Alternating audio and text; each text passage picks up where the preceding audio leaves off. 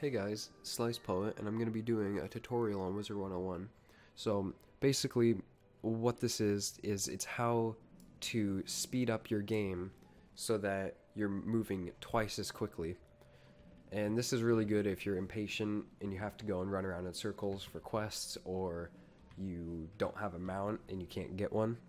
So basically, this is just a normal 40% mount, just going around and if you go and use this method you can speed it up to whatever you want. This is right now this is two times speed and it's really fast and it's just really easy. You can get around places really really quickly for like quests for example if you have them where it makes you run down long corridors and it's really really effective.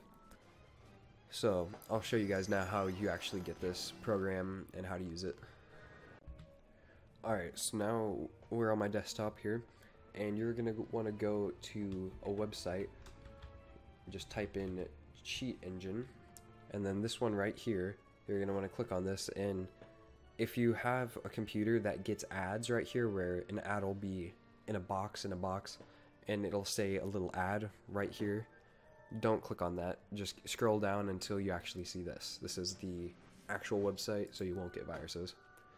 So, you just want to go and download here, you can click on this button right here. You'll download the setup for it, and then you're going to go and want to run the setup. Uh, where is it? Sorry, very, very disorganized desktop. So you're going to want to run this right here, and then once that's done, then this right here, you'll open up Cheat Engine, you'll have to say okay once the thing pops up. I'm not sure if you saw that. But then once it's open, this will pop up. And this is, for me, I've got the 6.5.1. Um, and basically, the way to get this speed hack is you click on this right here. You want to go to wizardgraphicalclient.exe. You're going to want to click open and then enable speed hack. And then you can go and change it up to 2 5 10 20 50 100 200 even 500 uh, i wouldn't suggest going above 2 2 is just perfectly fine. Uh, you can go to everywhere in between and do stuff like that. Hit apply. So in case you guys are wondering this is completely safe. You can't get banned.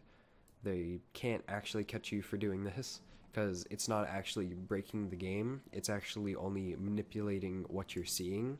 Because when you're flying around at two times speed, everybody else just sees you walking normally. You just see it happening twice as quick.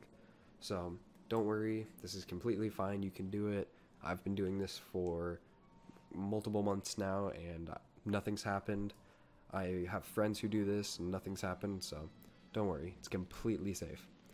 If you guys did this and you guys are happy, you should share your enthusiasm by sharing this video. And also liking, subscribing, commenting, favoriting, all those good things. And I hope to see you guys in the next video.